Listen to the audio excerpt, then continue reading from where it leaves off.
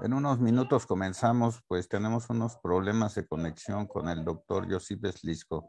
Les rogamos sean un poquito pacientes, por favor.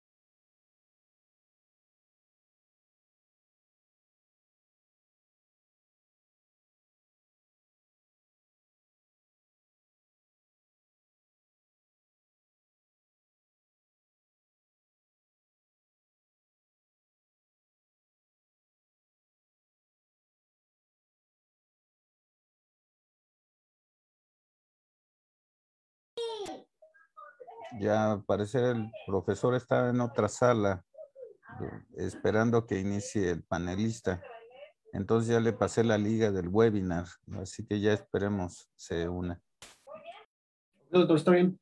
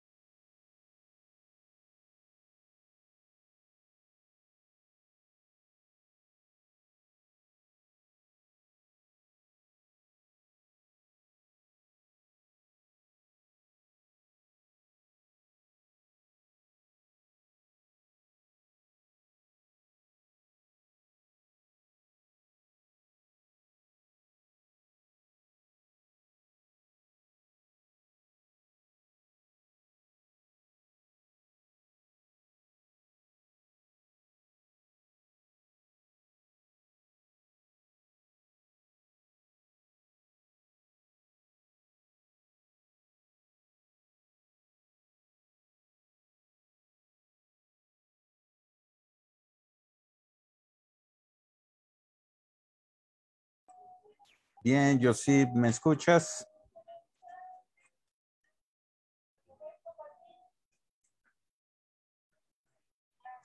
Vamos a hacer a, subir a Josip, ah, ya está aquí. Si le pueden dar los privilegios para compartir su pantalla. Listo, doctor, ya, ya tiene los privilegios. En cuanto usted quiera, podemos iniciar. Sí, eh, Josip, nada más si puedes activar tu micrófono.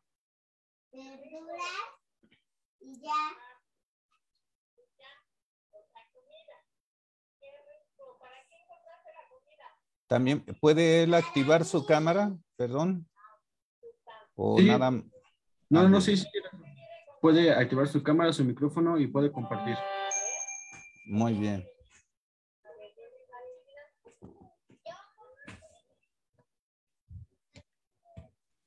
Entonces, yo sí, eh, ya te podemos escuchar. A ver, habla. Ah, ¿Me escuchas? Ya, ya te escuchamos. ¿Y ahora cómo compartir pantalla? Eh, ahí abajo en el menú donde dice compartir pantalla, abajo dale clic y luego ya señalas tu PowerPoint. Pero como ahora eh, no, no, no me aparece, me aparece esto de... eh. Ahora, A ver, ¿ves mi, mi pantalla? no, todavía no. No, no, no, doctor, mire, este, se, seleccione el botón verde que está en, en la parte inferior de, de- de su menú. Dele Ah. clic ahí. ¿Dónde? El, Abajo. el- exactamente, el botón verde. Dice sh- sh- share screen o compartir pantalla. Ahora, Ah, Ok, vale, ahora le va a aparecer este, una, una ventana. Ah, Seleccione pantalla 1 para poder compartir. desktop 1. Exactamente, doctor. Dele clic ahí y se va a empezar a compartir su pantalla. Perfecto, ahora, ahora ya su PowerPoint. Ah, muy bien. Y ahora sería bueno, Josip, también que actives tu cámara.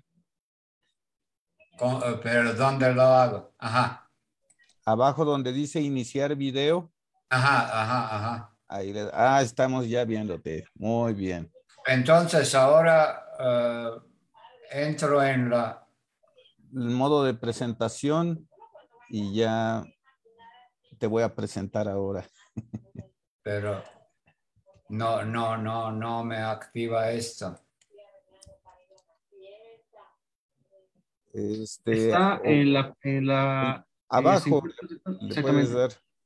En la parte de abajo, ándale por ahí, por ahí, a la derecha, a la derecha, a la derecha, un poco más, ahí me Ahora, sí. Ahora sí ya está. Ahora, dice Cecilia que no puede ver todavía la presentación. No sé si ya, que ya la están viendo. Bien, pues, estimados compañeros eh, de la Sociedad Mexicana de Física, es un placer para mí presentarles al doctor Josip Slisco de la Facultad de Ciencias Físico-Matemáticas de la, de la UAP. Él nos va a dar la conferencia plenaria acerca de evaluar la autenticidad de los problemas de física, una manera posible de promover el pensamiento crítico de los estudiantes. El profesor Josip Slisco es uno de los máximos exponentes de la enseñanza de la física en México. Cada año, en mayo, ha realizado un taller internacional de nuevas tendencias en la enseñanza de la física. Ya está próximo a cumplir este magnífico escenario 30 años eh, en la historia de, la física en México y eso pues ha traído muchas cosas buenas a la comunidad. Eh, él es investigador nacional eh, en la disciplina de enseñanza de la física, nivel 2, y es profesor de tiempo completo de la, de la universidad y, y también ha sido promotor últimamente del posgrado en matemática educativa, en enseñanza de las matemáticas, y esperemos que dentro de poco también sea el posgrado en, en la enseñanza de la física en Puebla. Pues sin más, le damos el tiempo a Josip. Adelante, Josip, y bienvenido.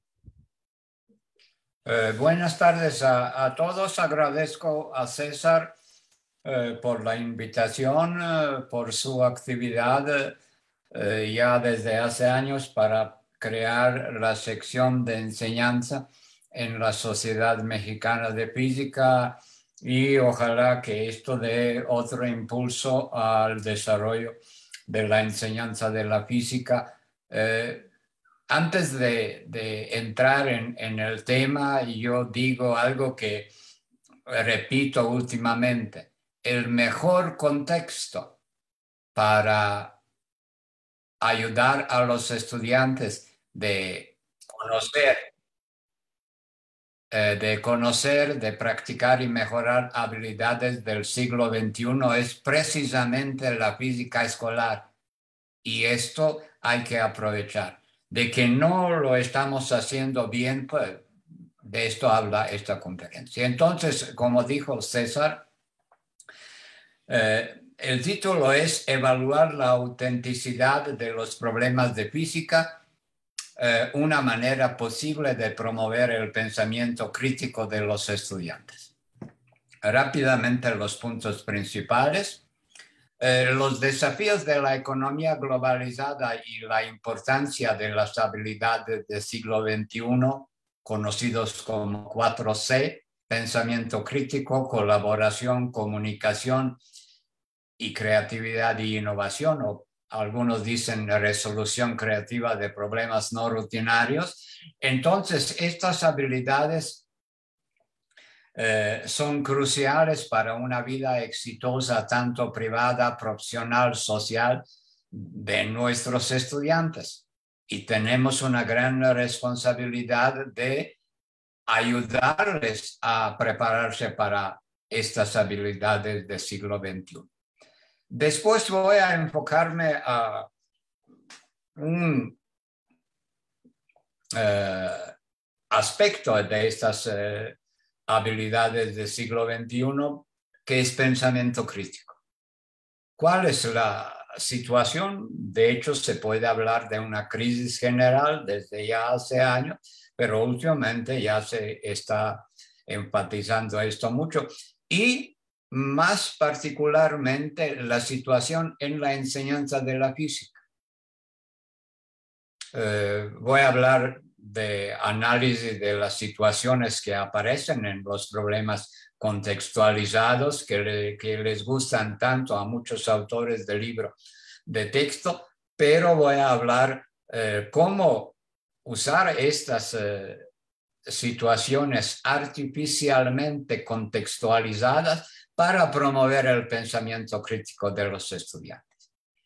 Y voy a hablar con unos detalles, no puedo presentar todo, eh, qué hicieron los estudiantes en el curso que tiene este título Desarrollo de habilidades de pensamiento complejo, donde cabe perfectamente bien enseñar eh, qué es el pensamiento crítico y cómo ejercerlo y mucho más importante, cómo mejorar. Muy bien, rápidamente lo que se sabe que hay grandes cambios en la economía globalizada, los robots y máquinas realizan cada día más trabajos rutinarios, pues esto es una alerta para las personas que toman el futuro a la ligera. Entonces eh, ya eh, se tendrán competencias fuertes de los robots y, máquinas y ya, ya se está pensando en que podemos competir con robots y con las máquinas. Los programas y las máquinas inteligentes aparecen a un ritmo impresionante. Ejemplos, reconocimiento de la voz humana y reconocimiento de las imágenes. En los años 50 los expertos mundiales en inteligencia artificial, decían que algo que jamás harán máquinas será reconocer la voz humana y, las imágenes. Ahora esto ya es eh, algo muy cotidiano. Mi hijo llegó hace un tiempo de, de Estados Unidos y trajo una máquina que se llama Alexa y entonces dice, Alexa, pon esta canción. No, no, no esta, pon otra. Y Alexa hace lo que se le diga, increíble. Eh, vamos a ver qué, qué implica esto en el mercado laboral. Se necesitan más comunicación compleja y pensamiento experto. Esto está en aumento y se necesitan menos rutinas manuales y pensamiento rutinario. Entonces, lo que son rutinas manuales y pensamiento rutinario, esto ya lo hacen máquinas. Ahora, algo muy reciente, muy importante, muy eh, preocupante, ya estamos eh, en la mera cuarta revolución industrial que, es una combinación tremenda, inteligencia artificial, Internet de las cosas, eh, máquinas que aprenden, eh, computación cuántica, para no, no hablar. Entonces, eh, este entorno está cambiando casi por completo cómo vivimos, cómo trabajamos y mucho más qué será el futuro. Ahora, eh, este famoso foro económico mundial que se realiza cada año en, Davos, en Suiza, eh, ellos se dedican y casi cada año eh, presentan un análisis del futuro de los trabajos. Y ahora fíjense bien, esto es una proyección de las 15 habilidades más importantes para el año 2025. Pensamiento analítico e innovación. Fíjense bien, aprendizaje activo y las estrategias de aprendizaje. Ya es en la segunda posición y ahora ya es eh, muy verdad lo que dijo hace tiempo un libro que tenía título Aprendes o mueres. Si, si perdemos la habilidad de aprender cada día más, cada día más rápido, pues estamos perdidos. Entonces, algo tan importante casi no se practica de manera científica en la enseñanza, no solamente en física, sino en todos tipos de enseñanza. Resolución de problemas complejos y aquí estamos, pensamiento crítico y análisis. Esto es algo que las personas que piensan en su futuro deben conocer, deben practicar y, como dije, mejorar. Y estas habilidades rápidamente, 4C, pensamiento crítico, mirar a los problemas de manera nueva, conectando aprendizaje a lo largo de los temas y disciplinas, colaboración, trabajar juntos para lograr un objetivo, poniendo talento, expertaje e inteligencia en acción, comunicación, compartir verbalmente, visualmente, digitalmente pensamientos, preguntas, ideas y soluciones y creatividad e innovación, intentar nuevos enfoques para obtener los resultados deseados, logrando la base para la innovación y la invención. Pero para que esto sea posible, no se puede avanzar sin aprendizaje activo, sin eh, estrategias de aprendizaje. Aprendizaje activo es como eh, una competencia suprema, como una habilidad que hace posible construir todas las demás habilidades. Muy bien, ahora la ausencia del pensamiento crítico en la educación. Eh, ven este libro apenas salido, eh, La crisis americana del pensamiento crítico. Eh, fracasos y promesas de educación. Entonces, desde hace tiempo es como adorno en, en árboles de Navidad, ah, desarrollamos pensamiento crítico, pero esto queda solamente en este nivel declarativo entonces es una gran promesa, pero por otro lado en la práctica tenemos fracasos y de esto hasta eh, habla este libro. Eh, juntos salió una encuesta de asociación que se llama Reboot, entonces ya arrancamos de nuevo. Se publicó año pasado. 96% eh, de los entrevistados entre educadores eh, y las personas del mundo del negocio piensan que el pensamiento crítico es extremadamente o muy importante, pero a la vez dicen que 86% que las habilidades de pensamiento crítico faltan en la educación. Y algo aún peor, cuando se va con los maestros, entonces tienen una controversia básica sobre el orden de presentación y la relación entre los hechos básicos y el pensamiento crítico. 41% de maestros piensa que hay que hacerlo juntos, hechos básicos con pensamiento crítico. Otros piensan que primero hechos básicos y después, si alcanza el tiempo, pensamiento crítico y 17% de maestros piensan que hay que separar, que esto no tiene nada, nada que ver. Entonces, estoy presentando esta situación eh, general. Ahora vamos a la física con malas noticias, lamentablemente. Existen muchos errores en los libros de texto de física que demuestran claramente, esto es muy fuerte, la ausencia del pensamiento crítico entre los profesores de física, que son autores de libros de textos, eh, revisores, los que eh, escogen libros de texto y dicen a sus estudiantes que paguen 150 dólares por, por un libro, todos con doctorado en física. Y esta gran comunidad está vendiendo mentiras ya 70 años y aquí es un ejemplo famoso que incluso pasó eh, a Enciclopedia Británica. Entonces, esto es como ellos eh, piensan que funciona un elevador hidráulico.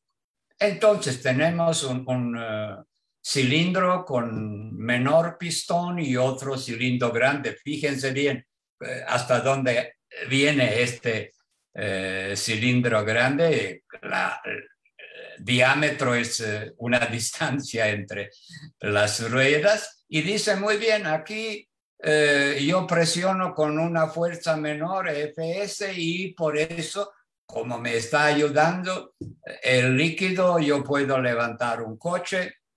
Ejemplo resuelto, no es el único, tiene este ejercicio otros resultados más impresionantes, hasta 100 veces se puede disminuir la fuerza. Aquí es apenas 30 veces.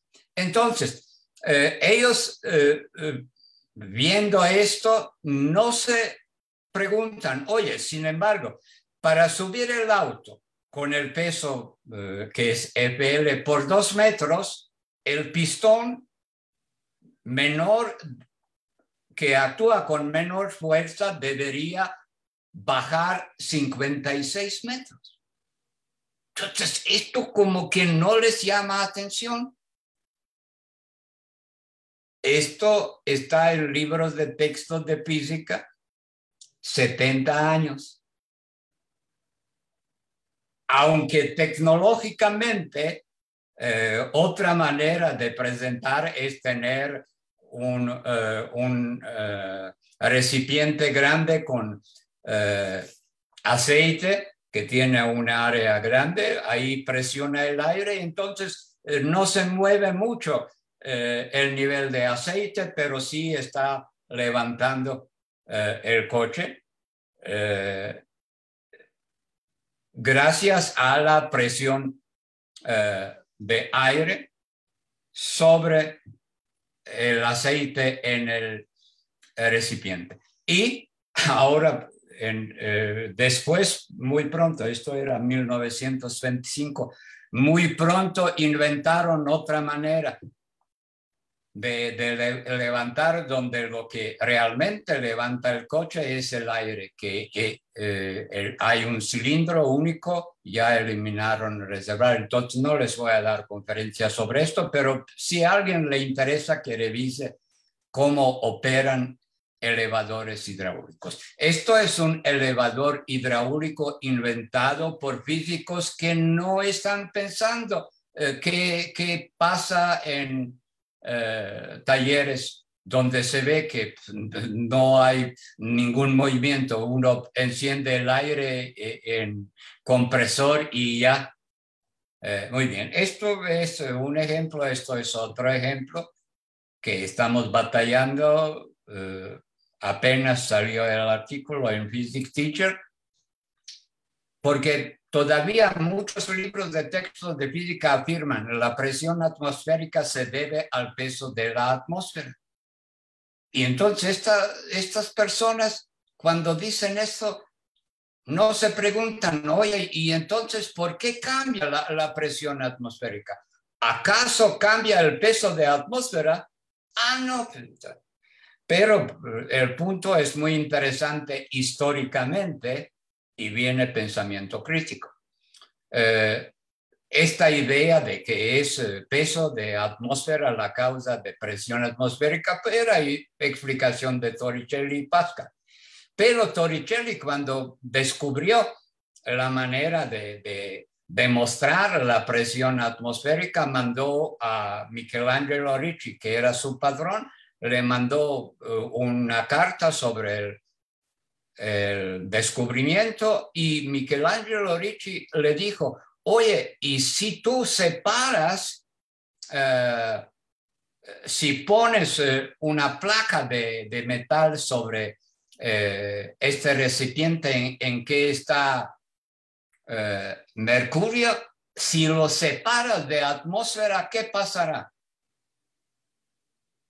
Ah, entonces eh, Torricelli se dio cuenta que es un argumento muy fuerte, porque si yo separo eh, atmósfera y el mercurio, aunque quede algo de aire por arriba de mercurio, la altura de barómetro no va a cambiar. Ah, entonces no es el peso de atmósfera, sino la densidad local de aire y después, esto era como una discusión teórica, después en 1667 en esta Academia de Cimento en, en Florencia, la gente realmente realizó este experimento, entonces pusieron barómetro bajo una campana de vidrio y el aire que estaba adentro ya estaba separado de atmósfera, pero no bajaba eh, el nivel de mercurio. Y después hicieron en otro experimento a la derecha, pueden ver, entonces tenían una pequeña cantidad de aire bajo cierta presión y este, esta cantidad de aire era capaz de mantener eh, la altura de barómetro. Pero ellos después hicieron que expande este aire o lo calentaban o lo enfriaban y demostraban de que el barómetro registraba lo que está pasando en este pequeño espacio encerrado, lo que quiere decir que atmósfera como peso eh, no, no tiene influencia, claro, ahora porque existen diferencias de densidad, pues tenemos eh, moléculas en movimiento eh, caótico y porque están en campo gravitacional, pues entonces se distribuyen moléculas formando diferentes densidades. Entonces, estos dos ejemplos les están dando una idea de que eh, no estamos pensando suficientemente, usando pensamiento crítico sobre las cosas que estamos enseñando a los estudiantes. Y eh, voy a terminar malas noticias con este estudio de Laurence Viennot y Nicolas de Camp de Francia, eh, que tomaron un texto que fue para alumnos de décimo grado y dieron este texto a 23 eh, estudiantes de doctorado que enseñan en la universidad, 10 profesores universitarios y 38 maestros de niveles eh, preuniversitarios, preguntando, oye, ¿y aquí hay algo cuestionable, algo sobre que se deberían levantar preguntas y nadie se dio cuenta de, de que se tiene un globo de helio a 40 mil metros, de que no hay atmósfera. Y entonces, ¿cómo, ¿cómo puede ser de que se levante hasta 40 mil metros una cápsula con globo de helio? Entonces, esta es una ausencia tremenda del pensamiento crítico. Muy bien, ahora buenas noticias. Eh, primer autor que yo conozco que, comenzó um, sobre eh, el tema cómo invitar a pensamiento crítico era Peter, eh, Paul Peter Urone, que inventó problemas con resultados irrazonables. Entonces, él tiene una sección con resultados irrazonables, pone en, formato tradicional el, eh, el, problema, pero inventa datos para que el resultado salga irrazonable y entonces los estudiantes eh, dicen, ah, muy bien, esto es irrazonable, por eso hizo eso y eso. Pero aquí eh, lo que me llama atención, él dijo, todos los demás problemas en el texto producen resultados razonables.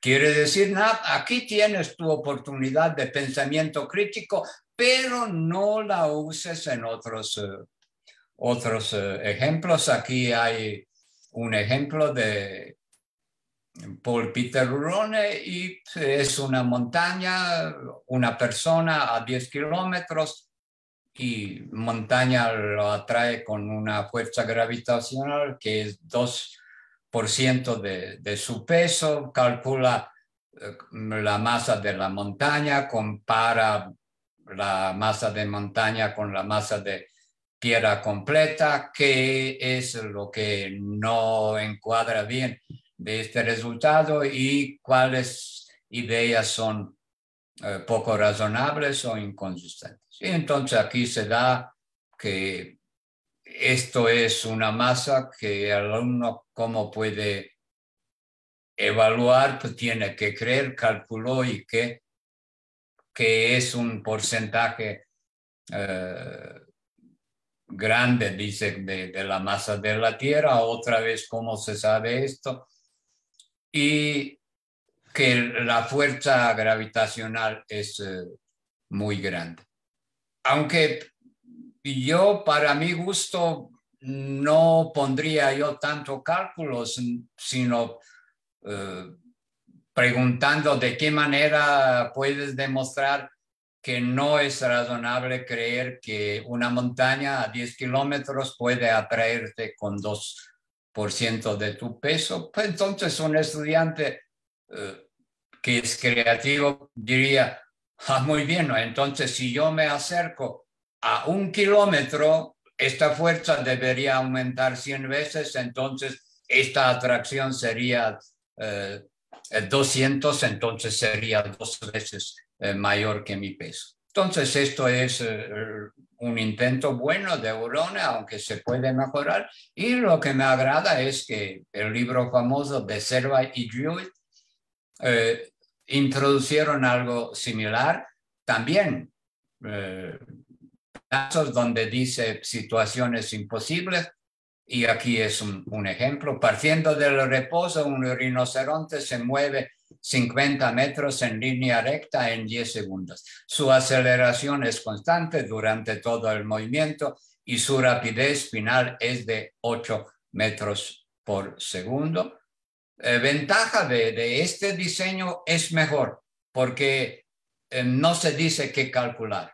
El estudiante debe mm, inventar qué calcular y después cómo lo que calcula, eh, cómo hace que la situación sea imposible. Pero otra vez, para mi gusto, aquí, cuando el estudiante dice, muy bien, entonces, ah, se mueve 50 metros, en 10 segundos, calculo la aceleración, oye, mira, me sale un metro por segundo al cuadrado y si se mueve 10 segundos, entonces su velocidad final debería ser 10 metros y aquí me dice que es 8 metros, entonces por eso es imposible. Pero eh, aquí la imposibilidad es la eh, inconsistencia de los datos que se están manipulando. No se acude al mundo real, porque resolviendo esto, el estudiante no va a decir muy bien, entonces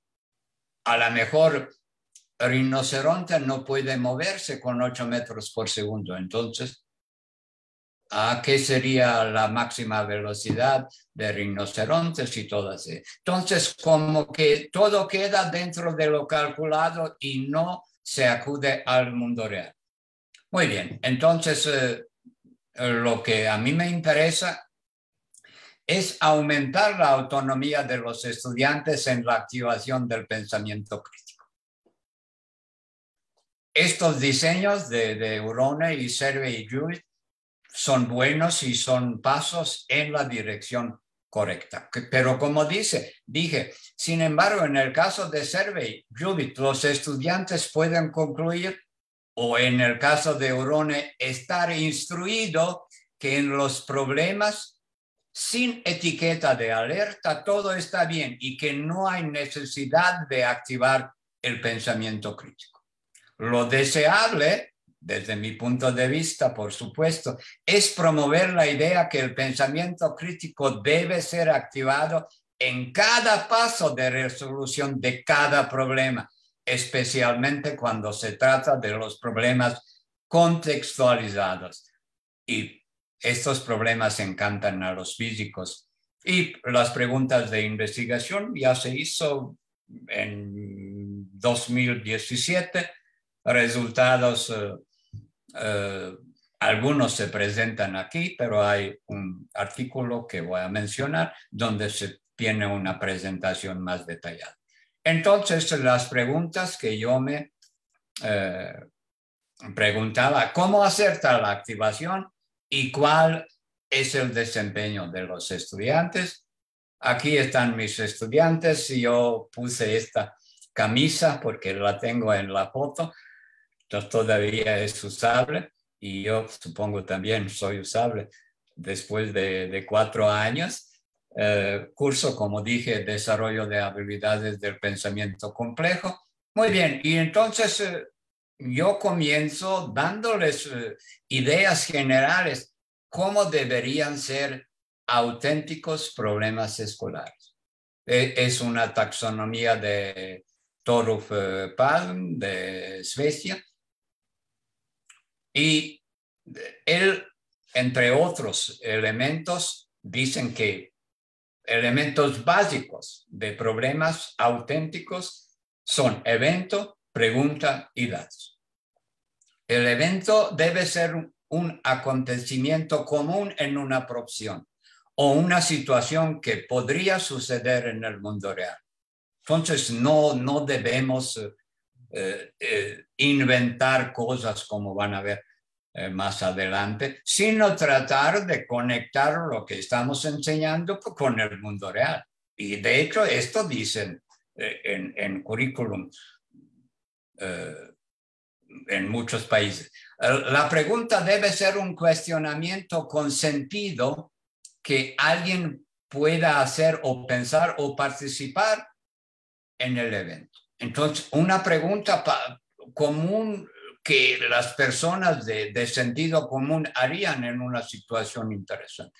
Y claro, por supuesto, los datos deben ser cuantificaciones reales del evento. No podemos inventar datos. Una contextualización artificial violenta al menos uno de estos elementos. Muchas violentan todos los elementos, y evento, y la pregunta, y los datos. Aquí viene un ejemplo de la contextualización artificial al estar en la torre de Eiffel en París, Francia, escupes directamente hacia abajo. Te va a detener la policía de París, pero no te preocupes. la velocidad de tu esputo es nula 0,75 metros por segundo. ¿Qué tiempo tardará tu esputo para llegar al pavimento que está 327 metros abajo? Si piensan que esto es el único ejemplo, se equivocan. En un libro muy, muy famoso en Inglaterra dice un muchacho se resbala en cáscara de plátano y se cae. Eh, si Torre de Eiffel tiene 300 metros de altura, eh, ¿cuánto le queda de vida al muchacho? Esto es palabra más, palabra menos. Imagínense, eh, imaginar esta pregunta. ¿Quién normal preguntaría esto? ¿Cuánto de vida le queda a, muchacho, porque esta pregunta no tiene mucho sentido. Claro, tiene mucho sentido si uno dice, cuando eh, cae en el cielo en este momento muere, pero puede morir antes, puede morir después, quién sabe. Entonces, eh, eh, hay otro ejemplo que estás en la primera plataforma y estás tirando un melón hacia abajo y tu amigo Pierre lanza una flecha desde el suelo, si, si la velocidad de la flecha es tal, en qué altura se van a encontrar el melón que tú estás eh, tirando hacia abajo y la flecha que lanza tú. Increíble, no estoy inventando, entonces esto no es el, el peor ejemplo. Muy bien, entonces, eh, con, este tipo de contextualizaciones artificiales, yo trato de, despertar a, la curiosidad de los estudiantes si ellos pueden encontrar algo similar en su libro de texto de, de, de Holiday Resnick que están usando y encontrar algo similar a estas tonterías.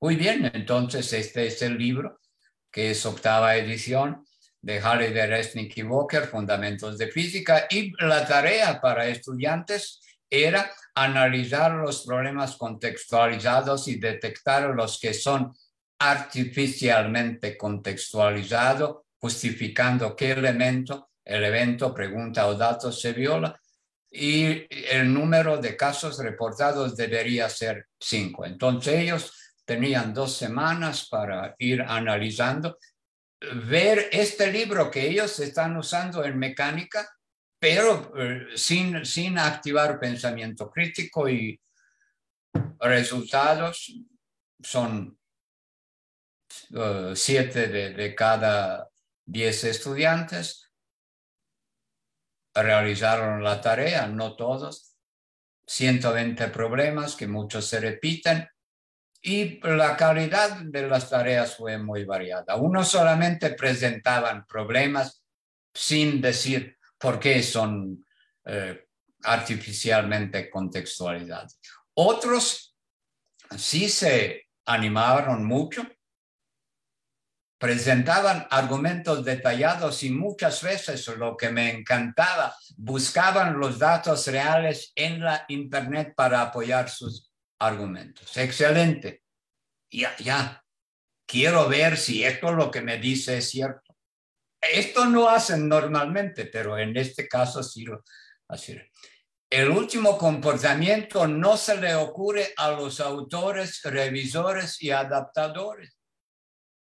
Ahora no, casi no hay dato que uno no puede encontrar si busca inteligentemente en Internet pero datos reales de que alguien hizo la, medición y estamos, en lugar de usar datos reales, estamos inventando. Esto es mucho más fácil de hacer. Los estudiantes revelaron mayor potencial para analizar críticamente la autenticidad de las situaciones y preguntas y menor potencial para detectar los datos imposibles. Lo que no me sorprende, pues, eh, digamos, acudir al razonamiento de sentido común y decir, muy bien, pues esto nadie haría esta situación es completamente irrazonable, pero detectar que un número eh, no es razonable o incluso imposible, como que no tienen esta habilidad todavía. Yo he notado que como que cuando se dice muy intensidad de campo eh, eléctrico, ¿qué, ¿qué, son mayores valores? ¿Qué son valores comunes? ¿Qué son, qué son valores, valores extremos? Como que no, no, no se fijan porque para ellos esto es un número que ellos van a meter en una fórmula y ¿por qué conectarlo con la realidad? Entonces, no me sorprende este resultado, pero van a ver que sí es posible eh, lograr encontrar valores imposibles.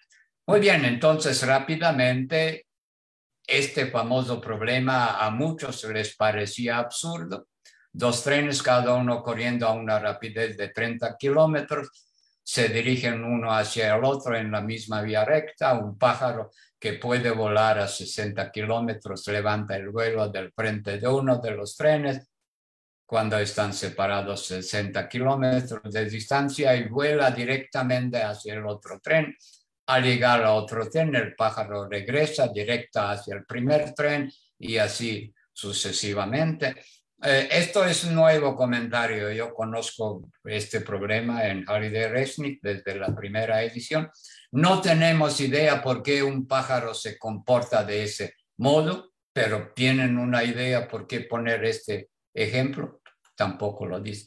¿Cuál es la distancia total que recorre el pájaro antes que los trenes choquen? Entonces, imaginar que dos trenes van a chocar, que van a matar a pobre pájaro y de que lo que es muy importante en la modelación matemática, de que el pájaro va a volar eh, hasta que la distancia sea matemáticamente igual a cero.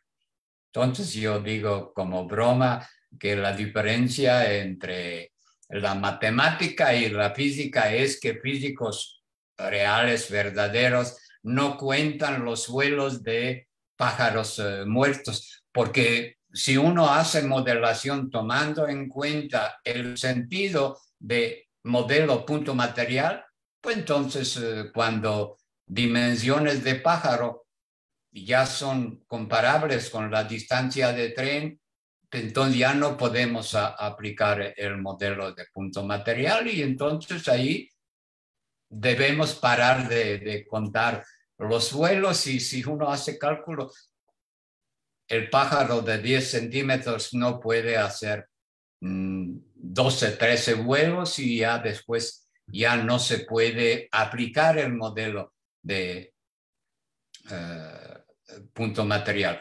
Estoy contando todo esto porque en la primera edición, Halliday y Resnick preguntaban cuántos vuelos da el pájaro, que era una pregunta muy buena porque conecta este problema con, la realidad. Y después se eliminaron esta pregunta porque estudiantes no sabían cómo modelar eh, la situación. La eliminaron, pero cuando se abre la caja de Pandora, ahora en India, todavía sigue esta pregunta y todavía sigue la respuesta de Halley de Retnick de que pájaro va a ser un número infinito de vuelos. Olímpicos en, en India ahora se preparan dándoles este problema, ¿cuántos vuelos? Y la respuesta correcta es número infinito. Yo una vez pregunté a mis estudiantes, ahora la respuesta, ¿cuántos vuelos? dará el pájaro. La respuesta de Halliday Resnick es el número infinito de vuelos. ¿Qué les parece esta respuesta? Ah, no, está bien. Si, pájaro es punto material, puede volar hasta que realmente no hay ninguna distancia, porque un punto material no tiene dimensiones y el pájaro matemático puede seguir volando hasta acumular un número infinito de, de vuelos. Entonces, eh, pasamos a otro Este es muy bueno porque parece que imaginan que los estudiantes de física son unos uh, seres uh, supernaturales. tenemos 10 minutos para concluir. Ah, muy bien, entonces. Perfecto, entonces aquí pueden uh, ver la locura de que una persona puede recordar, conocer cómo se mueve el coche y después ya muy bien. Entonces, estos son dos ejemplos del mismo libro que hacen los estudiantes. Este es especialmente bueno. Un estudiante enloquecido por los exámenes finales utiliza una fuerza P de magnitud 80 newtons y ángulo teta de 70 grados para empujar un bloque de 5 kilos por el techo de su cuarto si el coeficiente de fricción cinética entre el bloque y el techo es 0.4, ¿cuál es la magnitud de la aceleración de bloque? Pueden imaginar una persona que agarra un bloque de 5 kilos, que es muy, muy, como van a ver pronto, bastante masa y ahora que lo va a empujar contra el techo y, y con ángulo de 70 grados y fuerza de 80 newtons para preguntarse cuál sería la aceleración, pero esto es para aprender física. Muy bien, aquí es eh, una manera eh, de encontrar la masa de un pingüino, eh, jalar pingüinos, amarrarlos con cuerda. Aquí hubo comentarios muy fuertes porque aquí dice, la figura muestra cuatro pingüinos que como diversión, diversión, entonces eh, conservador del museo se divierte de tal manera de que está jalando a los pingüinos. Pronto, si esto era realidad, pronto vienen los eh, abogados de derechos animales y ah, ¿qué estás haciendo? Pero esto es desde hace tiempo un, problema en este libro.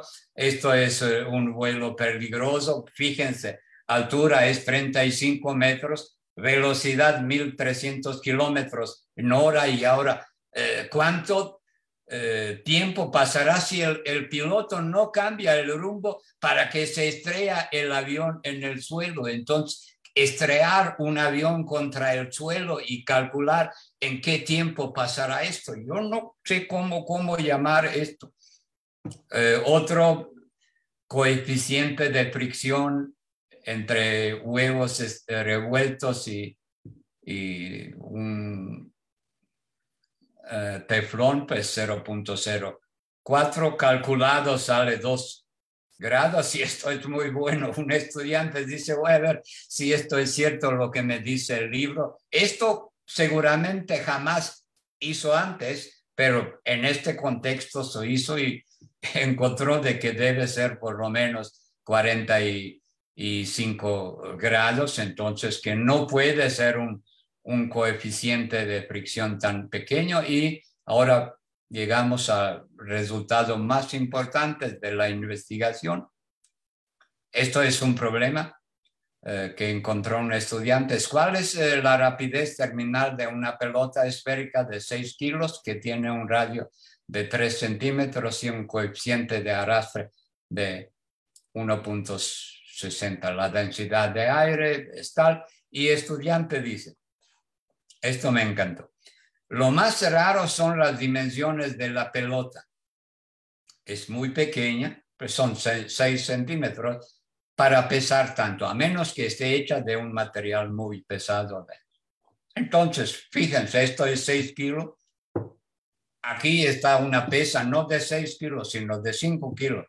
Conozco bien estas piezas. Yo ayudaba a mi padre que reparaba básculas de llevar esto ya, ya es un esfuerzo, ya se ven dimensiones, esto es 5 kilos, no es de 6 kilos.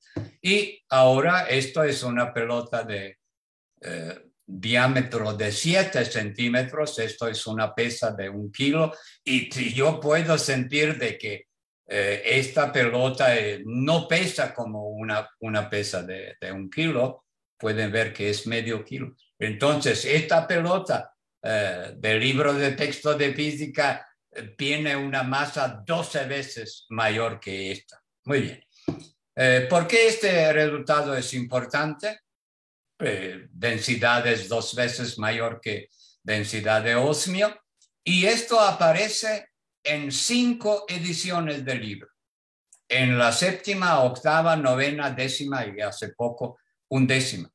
A ninguno de los cientos revisores técnicos y a ninguno de los miles profesores que usaron tal famoso libro de texto en sus cursos todos con PhD en física, le pareció dudosa la relación entre el tamaño y la masa de la esfera. En tal perspectiva, el logro de un estudiante mexicano que apenas comienza a estudiar física es muy importante.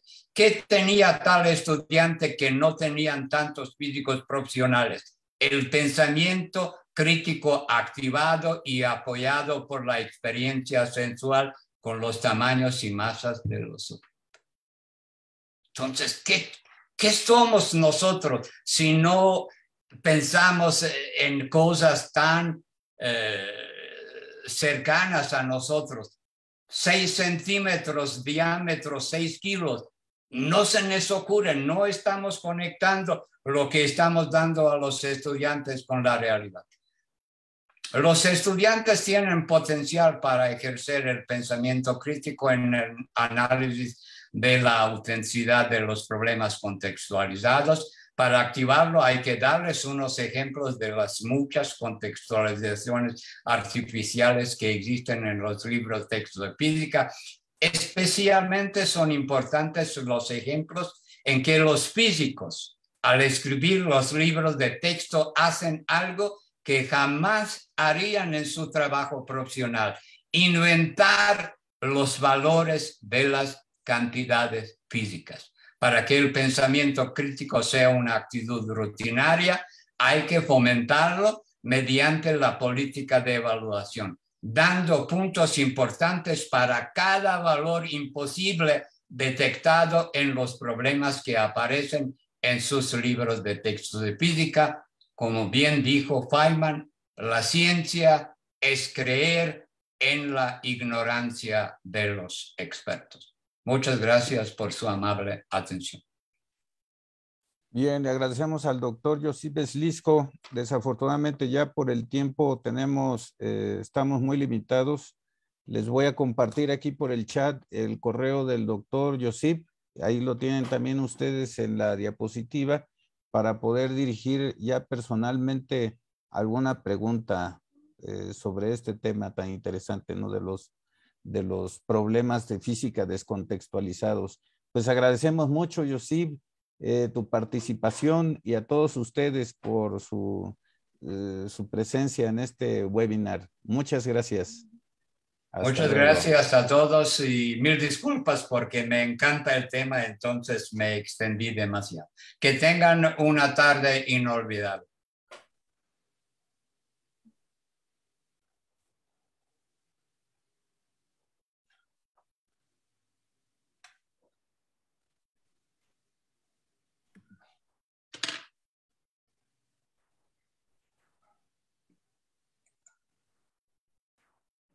Doctor César Morán, este, Mora, perdón. Sí. Este, si gusta, puede parar de, de grabar.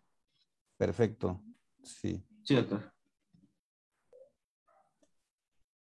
Listo. Perfecto. Muy bien, pues muchas gracias por su apoyo. Sí. Estamos en comunicación. Perfecto, doctor. Nos vemos. Hasta luego. Hasta luego.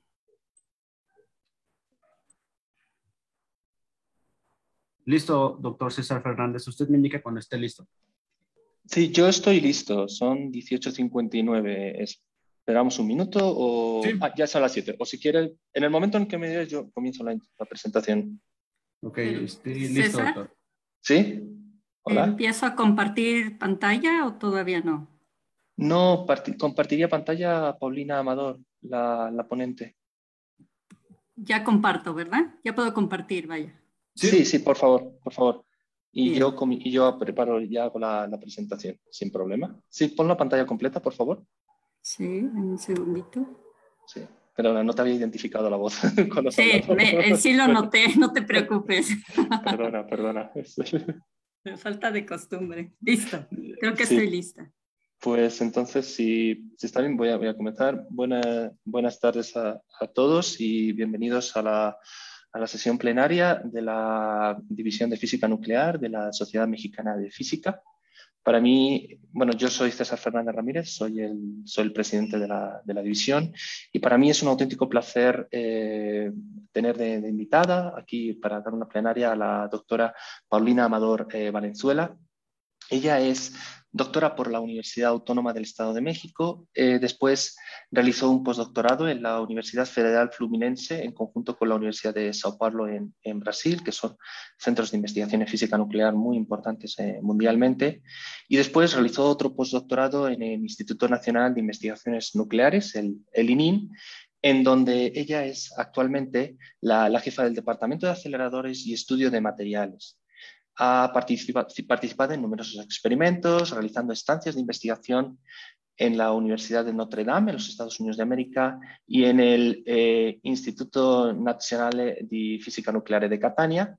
Y bueno, ella es parte del, del grupo de iones pesados del, de, del ININ. Y bueno, ella, la doctora Amador, nos va a hablar sobre el lado exótico de los núcleos radiactivos, que es un tema muy en boga internacionalmente ahora mismo dentro del área de, física nuclear y en el que ella es una reconocida experta. Entonces, por favor, doctora Amador, eh, adelante. Muchas gracias. Hola César, muchísimas gracias por la invitación. Eh, agradecerte la presentación también. Para mí es un placer estar aquí con ustedes principalmente como invitada de la División de Física Nuclear.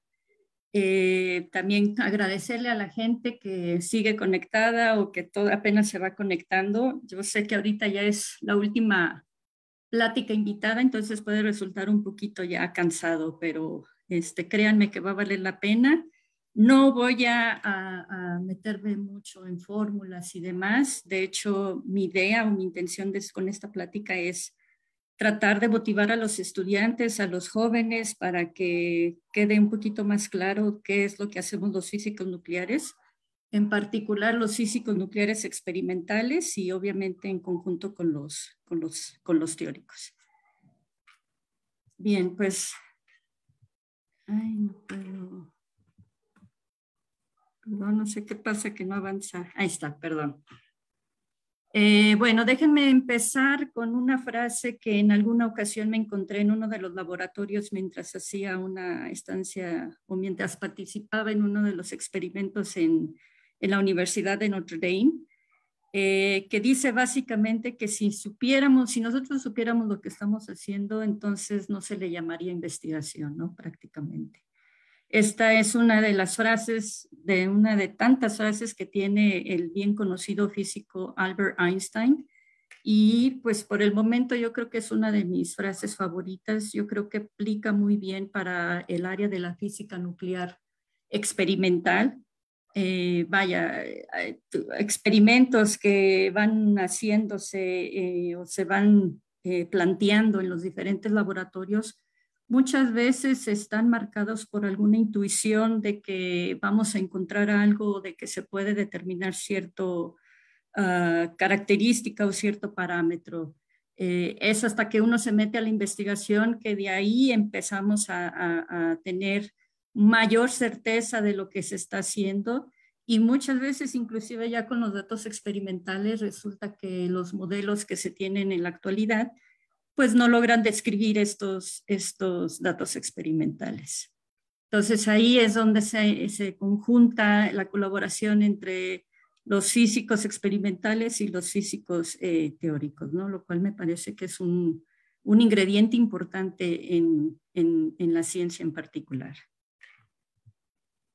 El contenido de esta plática pues estará compuesta por una pequeña introducción en donde prácticamente eh, me iré a, tratar de describir lo que, cuál es el objetivo principal de la física nuclear.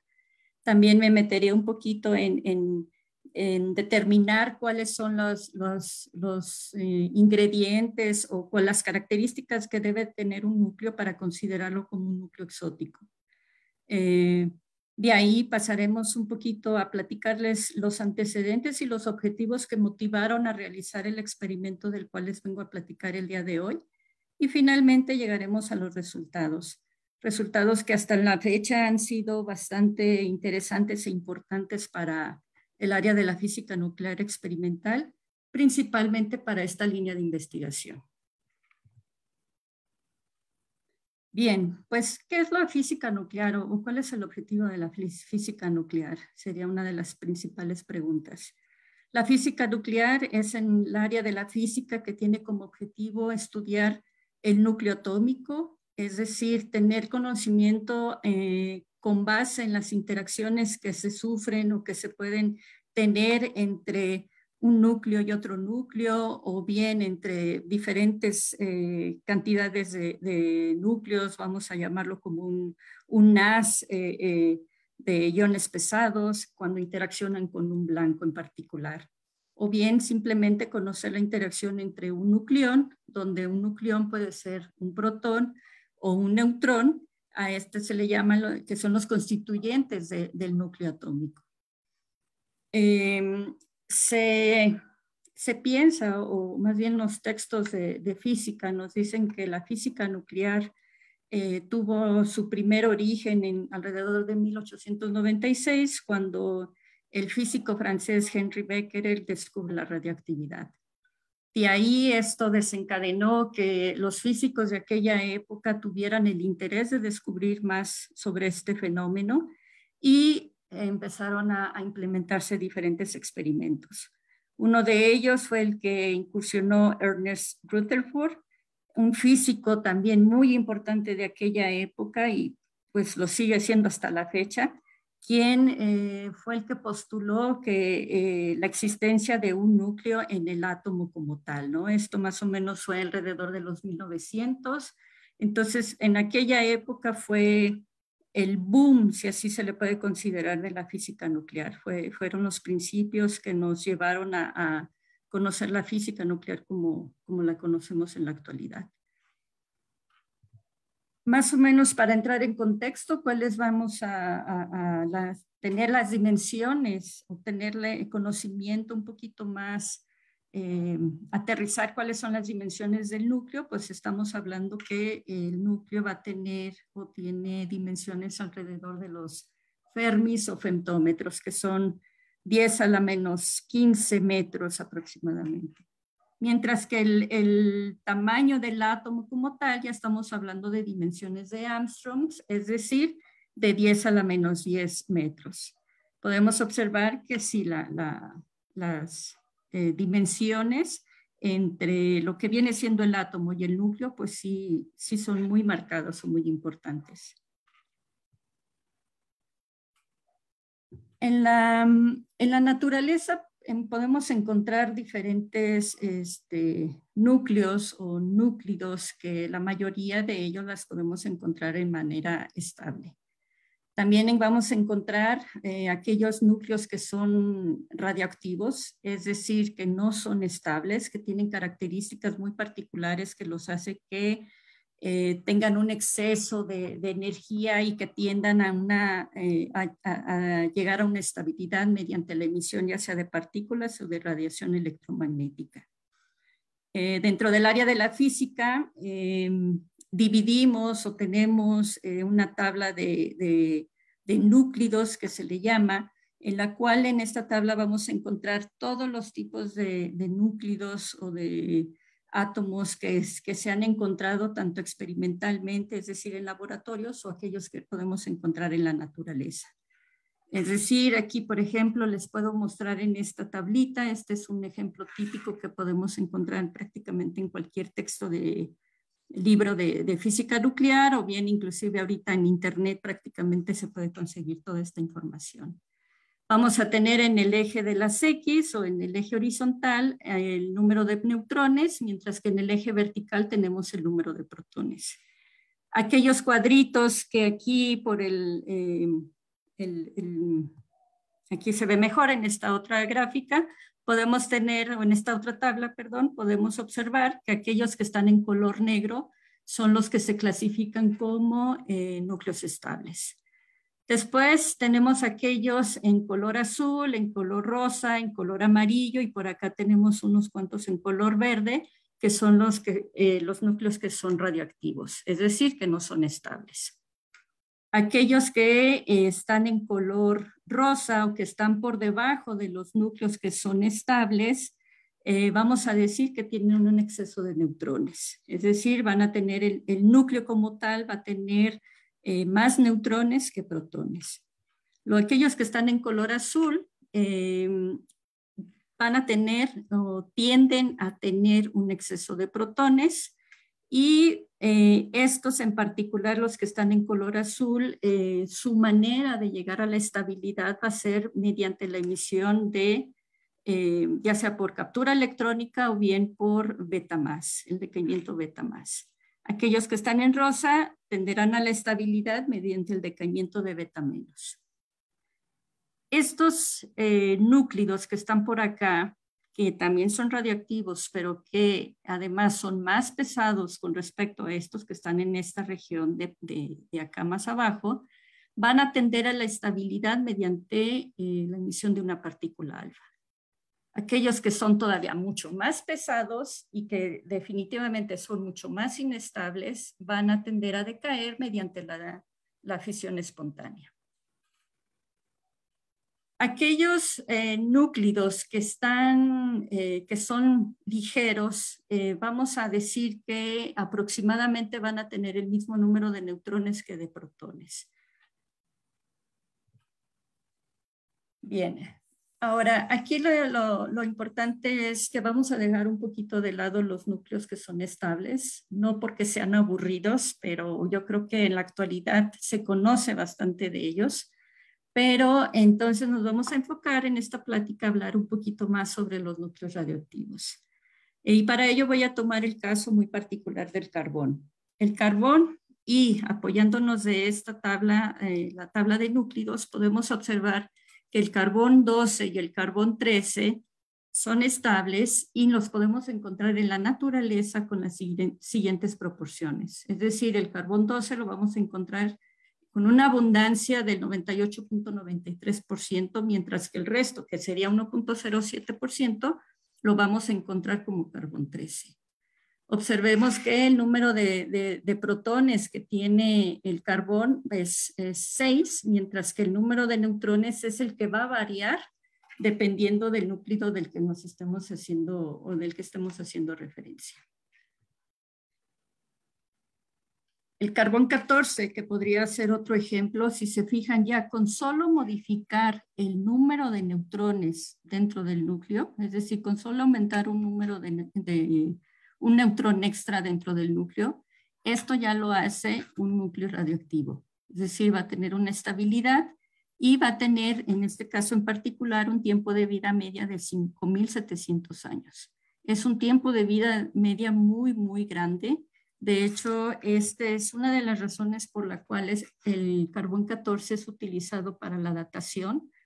Mm, no estoy muy segura, pero probablemente el doctor Efraín mañana nos pueda platicar un poquito más al respecto. Por ahí vi en el, programa de mañana que está anunciado una plática de él, pero no estoy segura si vaya a hablar del tema. Por ahí tenemos también el caso, por ejemplo, del carbón 11, en donde en este caso en particular lo que tenemos es un neutrón menos con respecto al carbón 12, eh, que es el, estable y que, que tiene mayor abundancia en la naturaleza. Este tiene un tiempo de vida media muy pequeño, relativamente pequeño, de 20.33 minutos. Después tenemos el otro caso particular del carbón 22, que es hasta el momento el carbón, eh, el núcleo más pesado del, del carbón que se ha encontrado o que se ha descubierto hasta el momento. Observen que en este caso ahí tenemos una diferencia en la cantidad de neutrones muy, muy diferente con respecto, por ejemplo, otra vez al carbón 12 tiene una, es inestable, obviamente es radioactivo y este sí tiene un tiempo de vida media muy, muy pequeño, es decir, de 6.1 milisegundos.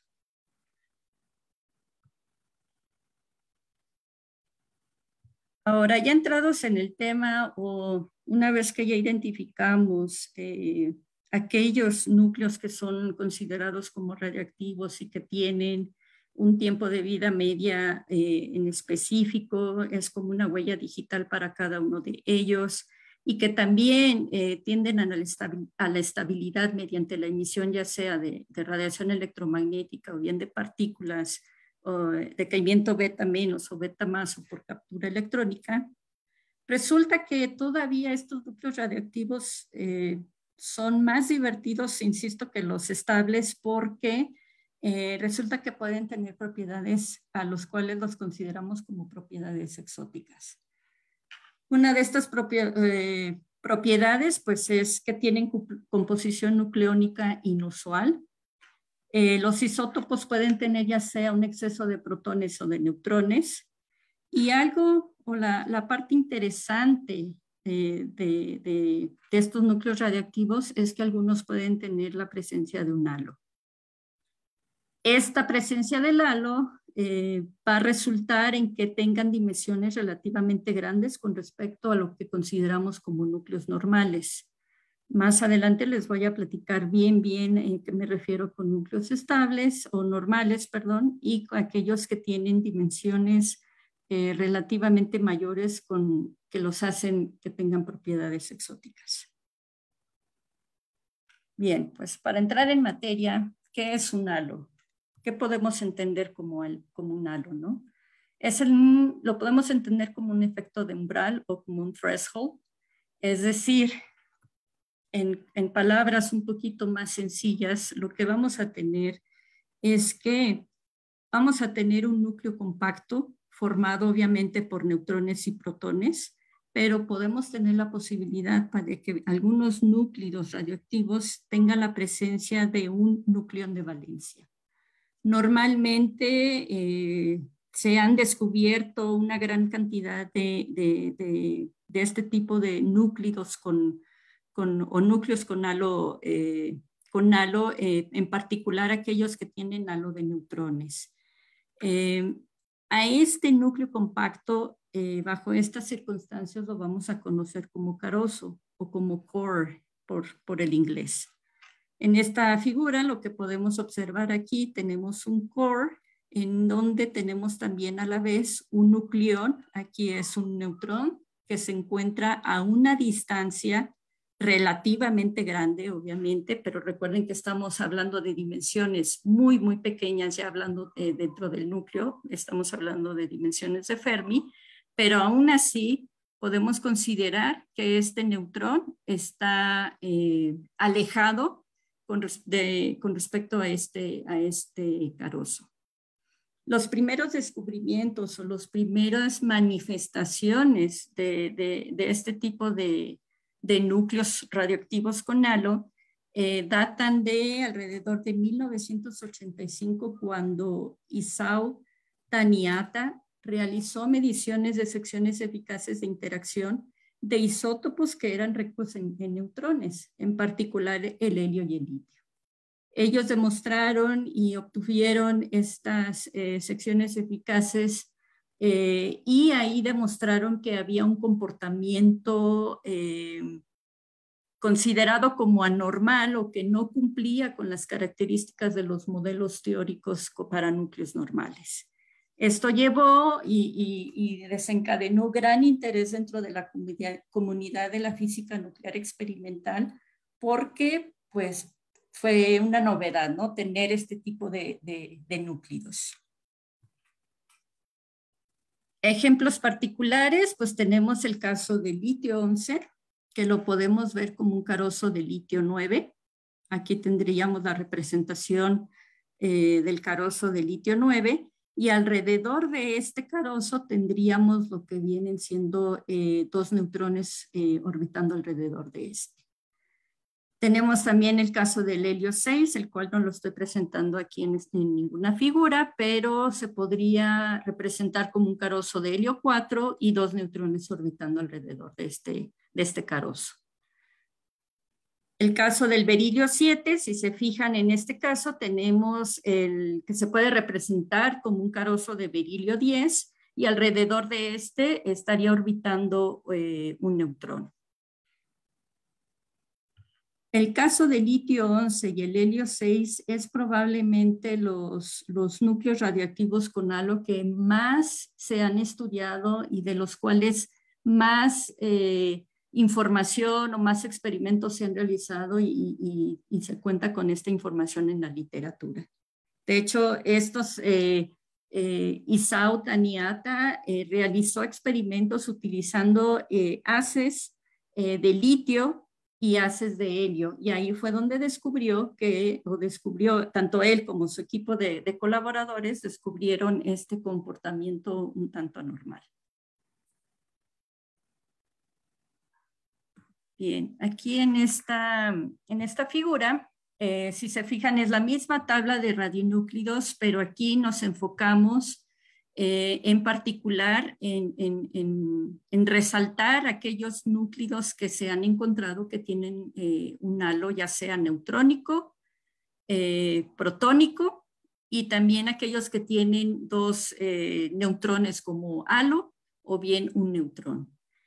Fíjense aquí, por ejemplo, aquellos halos que tienen dos neutrones, pues tenemos el caso del helio 6, tenemos el caso del litio 11, berilio 12, perilio 14, boro 17 y carbón 20. Para aquellos que tienen solamente un neutrón orbitando alrededor del carozo, tenemos o se han identificado el caso del berilio 11, el carbón 15 y el oxígeno 23.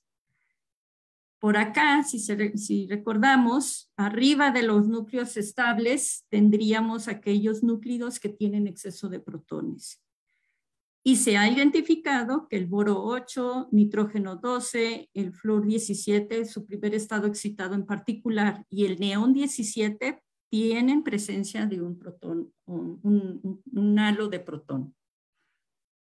Caso particular es el helio, el helio 8, que si se fijan se puede representar o puede estar eh, considerado como una, un carozo de una partícula eh, alfa, y alrededor de este se encuentran orbitando cuatro neutrones. Así es como se vería el caso del helio 8, donde tenemos un carozo eh, representado por la partícula alfa o un eh, helio 4 y alrededor de esta se tienen cuatro neutrones orbitando. Aquí sería la representación gráfica del helio 6 y bien el helio 4, que es una partícula alfa, eh, en donde se muestra el núcleo bien compacto y, sin ninguna presencia de, de, un halo como tal. Bien, ahora vamos a, detallar un poquito, tratar de hacer énfasis en, en cuestión de dimensiones eh, de un halo en este caso, por ejemplo, el, el caso del litio, el litio 11, que puede ser representado como un carozo de litio 9 y alrededor de este se encuentran dos, dos neutrones orbitando o los neutrones de valencia. En cuestión de dimensiones del, eh, del diámetro del núcleo, podemos observar que la, presencia de estos nucleones de valencia hay casos en particulares que son muy eh, semejantes en dimensiones con núcleos que consideramos que son súper estables o vaya, que son estables y, y, que están bien, el núcleo está bien confinado, que no tiene presencia de ninguna anomalía, como puede ser un halo y como puede ser el caso del plomo 208. Observen aquí cómo eh, eh, la diferencia en tener un un núcleo eh, ligero es relativamente o presenta dimensiones en cuestión del núcleo muy similares con respecto a un núcleo pesado. Aquí encontré esta figura donde podemos también observar eh, las dimensiones del, o los radios nucleares que se tienen, por ejemplo, para el litio 6, litio 7, litio 8, litio 9, y cómo se hace, un, brinco eh, muy importante cuando se habla del caso del litio 11, ¿no? que ya vimos que el litio 11 pues es un núcleo, eh, es un núcleo radioactivo. Y que tiene presencia de un, de, un halo. Otra clasificación importante dentro de esta línea de investigación es eh, hacer una, mm, una eh, mención especial a los núcleos que consideramos o que se conocen más bien como núcleos borromeos o borromeanos. Estos este, núcleos están compuestos por tres, son tres cuerpos. Eh, aquí los tengo representados en esta tablita están constituidos o son aquellos que presentan dos nucleones de valencia. El caso particular del helio 6, que ya vimos un ejemplo gráfico de este, el litio 11, que también ya les, les mostré que se puede representar como un carozo de litio 9, y alrededor de esto se encuentran dos neutrones. La razón por la cual se le conoce como núcleos borromianos es en alusión a estos anillos eh, de, la de la familia eh, borromeana o borromea, en donde eh, básicamente aquí lo que se intenta denotar es que al momento de cortar uno de estos anillos, en automático los otros dos anillos se van a separar también. Es decir, al momento de que el helio 6, que tiene presencia de, un halo eh, de dos neutrones, al momento de que una de estas, eh, ya sea el carozo o cualquiera de los dos neutrones se separa, el sistema como tal se va a, a, deshacer o se va a desarmar en automático. Ese es el objetivo o esa es la razón por la cual le llamamos núcleos borromeanos. Y todos estos que están aquí Observemos que, por ejemplo, también tenemos el caso del neón 17, que puede ser representado como un carozo de, oxígeno 15 y alrededor de este se tienen dos protones orbitando. Ahora, mm, en el área de la física nuclear experimental, em, para realizar experimentos eh, donde queramos entender la estructura del núcleo como tal, es necesario contar con instalaciones eh, o con laboratorios que tengan eh, equipo muy sofisticado. El caso particular, pues es eh, la manera en la cual nosotros podemos hacer incidir un haz de partículas sobre un blanco a velocidades tales que puedan romper o que puedan penetrar hasta dimensiones del núcleo y además este, poder derribar de alguna manera las fuerzas de, de Coulomb y, todo lo que tenemos, las fuerzas nucleares inclusive, eh, es necesario tener o contar con aceleradores de partículas. Eso para generar haces estables. Ahora imagínense lo complejo que resulta el generar haces que son radioactivos, es decir, que tienen un tiempo de vida eh, particular. Algunos de ellos ya vimos que tienen tiempos de vida media muy corta, por lo tanto, es necesario contar con instalaciones especiales. Todavía aparte de los, eh, de los aceleradores eh, de partículas, todavía se hace necesario implementar em, equipo muy particular para llegar a producir este tipo de haces radioactivos. Aquí les muestro un mapa donde podemos ver algunas de las instalaciones, la mayoría de ellas localizadas en, Europa. Tenemos el RIBRAS, que está ubicado en la Universidad de Sao Paulo, en el Instituto de Física.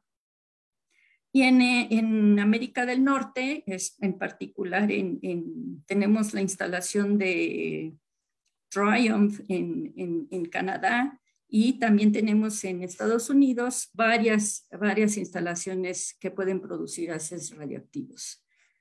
En particular, en esta plática, pues me voy a enfocar en la, en la instalación del Twin Sol, en que se localiza en la Universidad de Notre Dame, específicamente en el Instituto de Estructura y Astrofísica Nuclear. Ahí es donde el grupo de investigadores del Departamento de Aceleradores y Estudio de Materiales tienen una colaboración muy, muy importante y muy estrecha con esta universidad.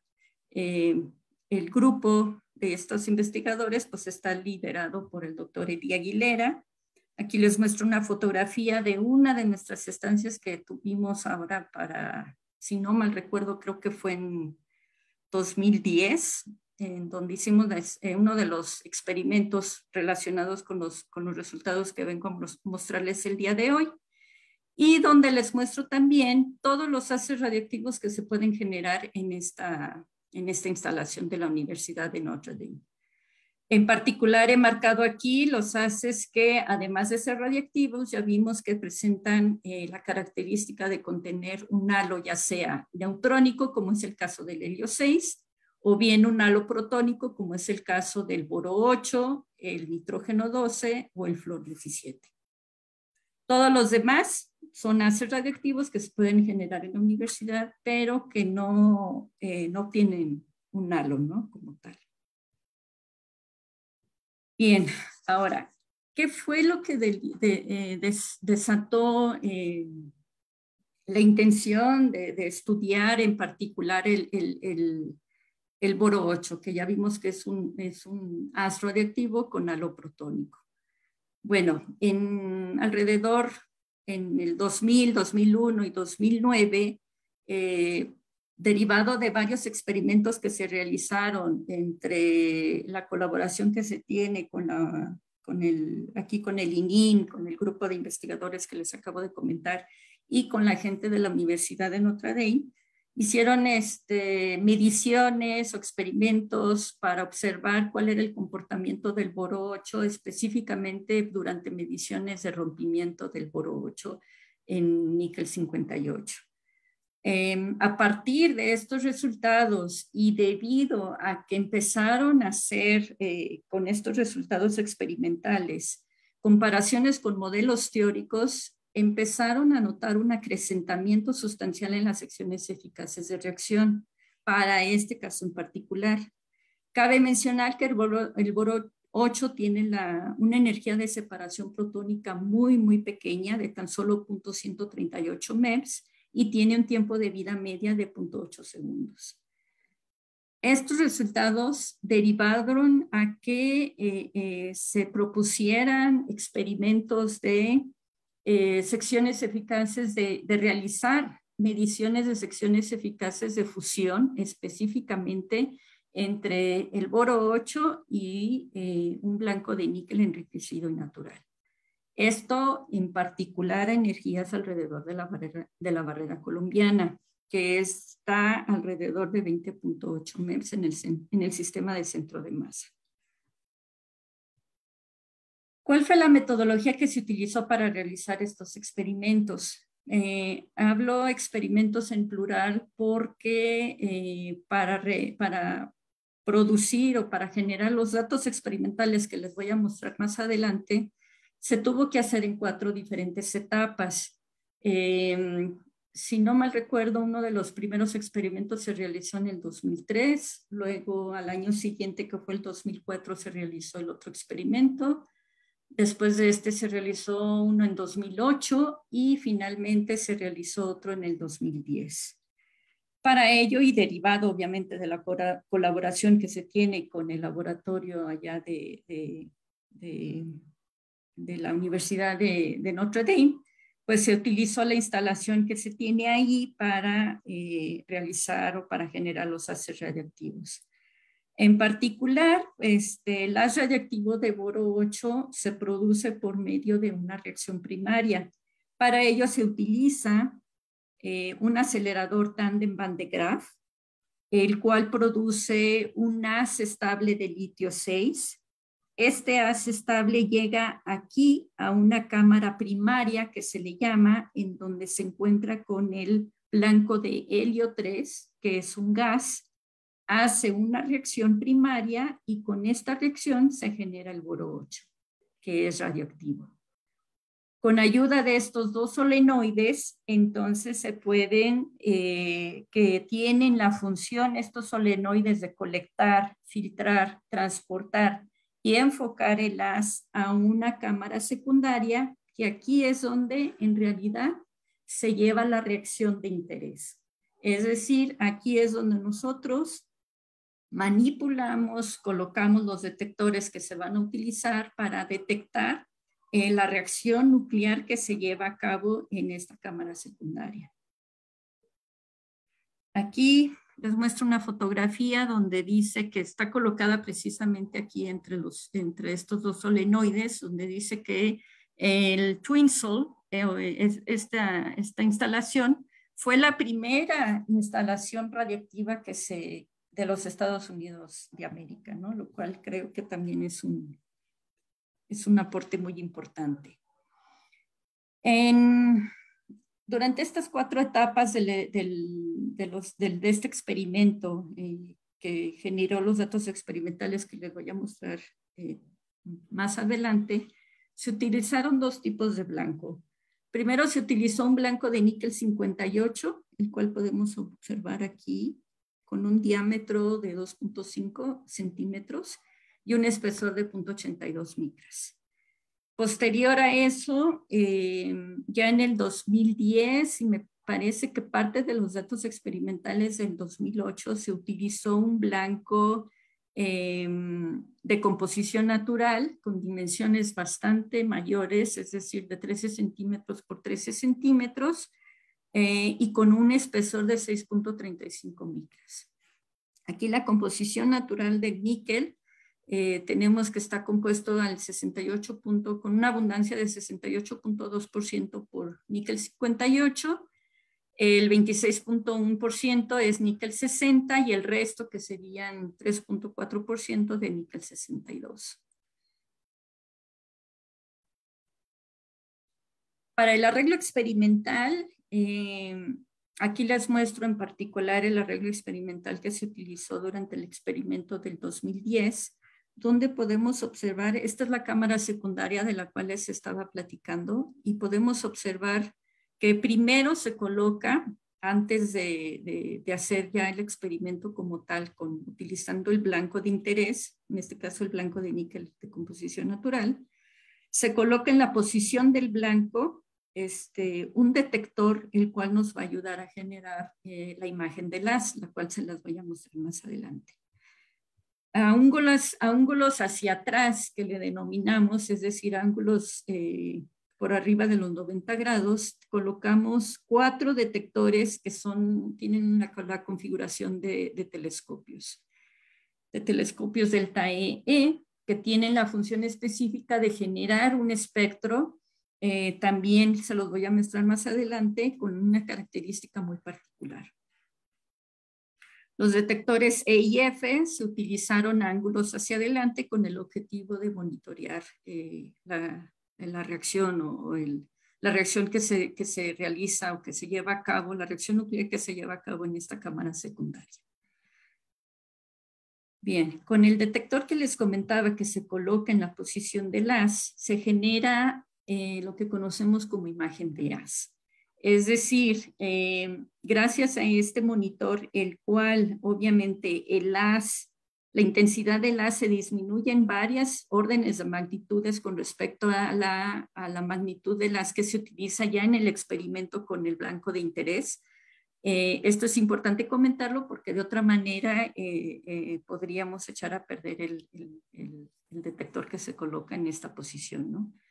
Se, se tiene lo que es la imagen de AS, es decir, se, puede tomar como una fotografía de lo que en realidad está llegando eh, derivado de la reacción secundaria y podemos observar que se genera lo que es el haz de interés, que es el boro 8, que es el haz que nosotros nos interesa, el haz radiactivo en, durante este, este experimento, pero además tenemos un cocktail si se le puede llamar así, de muchos haces que se pueden generar durante esta reacción secundaria.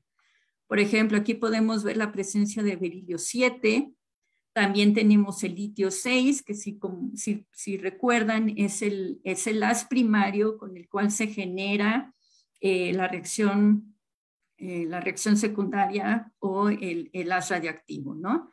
Podemos también ver la presencia de litio 6, eh, de partículas alfa, eh, de deuterios, de protones, etcétera, ¿no? Prácticamente aquí lo que estamos viendo es una, es una fotografía de, de cómo, de todo lo que le llega eh, al, al, en este caso al monitor derivado de la reacción secundaria. Esto nos ayuda porque es una manera o en, conjunto con los telescopios o con los, el arreglo de los, de los detectores que se colocan a ángulos hacia atrás, que les comentaba que es un ángulo, perdón, es un detector delta E, E, es decir, el delta E tiene aproximadamente dimensiones nominales de 40 micras, son detectores de barrera, de silicio de barrera superficial. Atrasito de este delta E que tiene dimensiones de 40 micras, se coloca otro, otro detector también de barrera, de silicio de barrera superficial, con dimensiones aproximadamente de mil micras. Esto y derivado a la pérdida de energía de las partículas que se producen derivado de la reacción que hay entre el, boro, el boro 8 y el blanco de níquel eh, ya sea de níquel 58 enriquecido o bien el de níquel de composición natural, nos ayuda a generar este tipo de espectros en donde podemos observar que por pérdida de energía al momento de, interacción, de interaccionar con estos dos detectores, podemos nosotros dividir aquellas partículas que tienen una Z igual a 1 y aquellas partículas que tienen una Z igual a 2. Y aquí lo que hacemos es seleccionar aquellos en, este caso en particular, los protones, que son los que nos interesan eh, determinar de esta reacción nuclear para poder de ahí determinar la sección eficaz protónica y posteriormente determinar la sección eficaz de fusión para este experimento en particular. Posteriormente, con la técnica de tiempo de vuelo y con la imagen de las, que es lo que, lo que representa este espectro por acá arriba, y después de haber seleccionado única y exclusivamente los protones, podemos generar este espectro que está acá, donde vamos a tener solamente protones derivados de la reacción. Una vez que se empatan los tiempos de vuelo, tanto del, del, de interés con los protones que eh, llegan al mismo tiempo de, disparo o que se generó el disparo entre la producción de este haz radiactivo con eh, la partícula que llega a, los, a los telescopios, entonces seremos capaces de, eh, en este espectro de puros protones, determinar cuáles son los protones que efectivamente se producen por la reacción del boro 8 con el blanco de interés. Podemos observar también que, por ejemplo, aquí tenemos otra otra banana, que es como se le conoce, otra selección en donde podemos ver que estos protones son los generados por el berilio 7 con la interacción o con la reacción que tienen con el blanco, el blanco de, níquel. Y bueno, así se imaginarán que este, más o menos tenemos espectros que analizar, eh, son varios espectros, muchos espectros de hecho para analizar y es la manera en que eh, podemos obtener los resultados de las secciones eficaces o la reducción de datos que le llamamos. Algo particular de este experimento es que si se fijan, eh, les comentaba que tenemos berilio 7 y que una de las características del berilio 7 es que es radioactivo. Entonces, aparte de poder analizar eh, los protones o, poder determinar las secciones eficaces de fusión por el, boro 8 con el níquel, podemos también determinar o en un solo experimento podríamos aprovechar y determinar las secciones eficaces por, producidas por el berilio 7 en, el níquel 58. De hecho, se hizo, este, se hizo el análisis y también se, obtuvieron los resultados. Pero bueno, ese es, ese es tema para otra plática.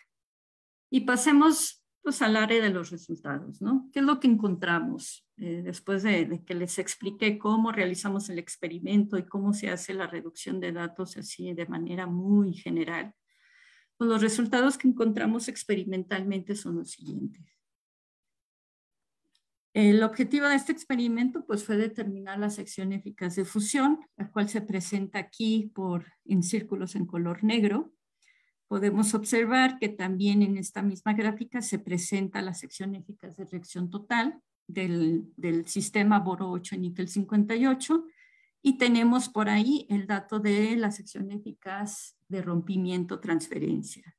Tanto estos dos eh, resultados de las secciones eficaces de reacción total como de rompimiento, estos se publicaron y fueron los trabajos que les comenté que ayudaron a motivar para llevar a cabo eh, los experimentos para determinar la sección eficaz de fusión para este sistema en particular apoyados de los modelos teóricos que existen para describir las secciones eficaces o para describir las reacciones de fusión, eh, se utilizó la función de Won, en donde obtuvimos estos parámetros para la, barrera, en donde podemos describir de manera bastante satisfactoria, utilizando estos parámetros, eh, los datos experimentales de las secciones eficaces de fusión. Posteriormente, con eh, cálculos de modelo óptico, este, se obtuvieron eh, los ajustes a las secciones eficaces de reacción total, lo cual se muestra aquí en, guiones en color azul. Después tenemos con cálculos eh, a partir de, de CDCC, se obtuvieron los cálculos para la sección eficaz de rompimiento o de transferencia. Aquí algo interesante que podemos observar es que eh, para energías que se encuentran por encima de la barrera colombiana, que si recordarán está aproximadamente a 20.8 MEPS, podemos observar que a energías por encima de esta barrera colombiana, el fenómeno, la reacción que predomina es eh, la fusión mientras que para energías por debajo de la barrera colombiana podemos observar que el, fenómeno o la reacción que predomina es el de, el de rompimiento. Ahora, otro dato interesante de esto es que podemos observar que al momento de hacer aquí el, o considerar que la sección eficaz de fusión es la sección eficaz de reacción total menos la sección eficaz de rompimiento y de transferencia, entonces podemos observar que describe bastante bien o que satura bastante bien eh, la sección eficaz de fusión. ¿Esto qué quiere decir? Que para este sistema particular podemos concluir que eh, los únicos procesos que, predominan para, este caso en particular estaría compuesto por eh, la fusión y el rompimiento. Es decir, estos dos secciones eficaces de alguna manera saturan a lo que es la sección de reacción total. Esto se publicó, estos resultados se publicaron en el, en el, 2000, en el 2011, por ahí les dejo la referencia por si quisieran eh, eh, leer más al respecto. Aquí en esta otra gráfica les muestro nuevamente las secciones eficaces de fusión Aquí les muestro eh, los resultados la, del modelo teórico que se utilizó para determinar o, hacer el ajuste de estos datos experimentales en donde podemos observar los parámetros. Utilizando eh, los parámetros de la sistemática y que son considerados para los sistemas normales, es decir, aquellos sistemas que son bien estudiados, que de alguna manera podemos considerar que son bien comportados, podemos observar que el radio entre lo que podemos eh, definir como el ajuste hacia nuestros datos experimentales y con lo que esperaríamos para sistemas normales, presenta un, fenómeno muy, muy particular, es decir, a lo que nosotros le llamamos como el efecto de acrecentamiento, un acrecentamiento en la sección eficaz de fusión comparado con aquellos eh, eh, modelos teóricos que, esperaríamos para un sistema normal, ¿no? Esto es una de las, eh, resultados muy importantes hasta el momento de estos, de estos este, mediciones de secciones eficaces de fusión que nos llevó a determinar de alguna manera que esto era, eh, o esta manifestación o esta, este acrecentamiento se debía eh, particularmente por el efecto del, del halo protónico.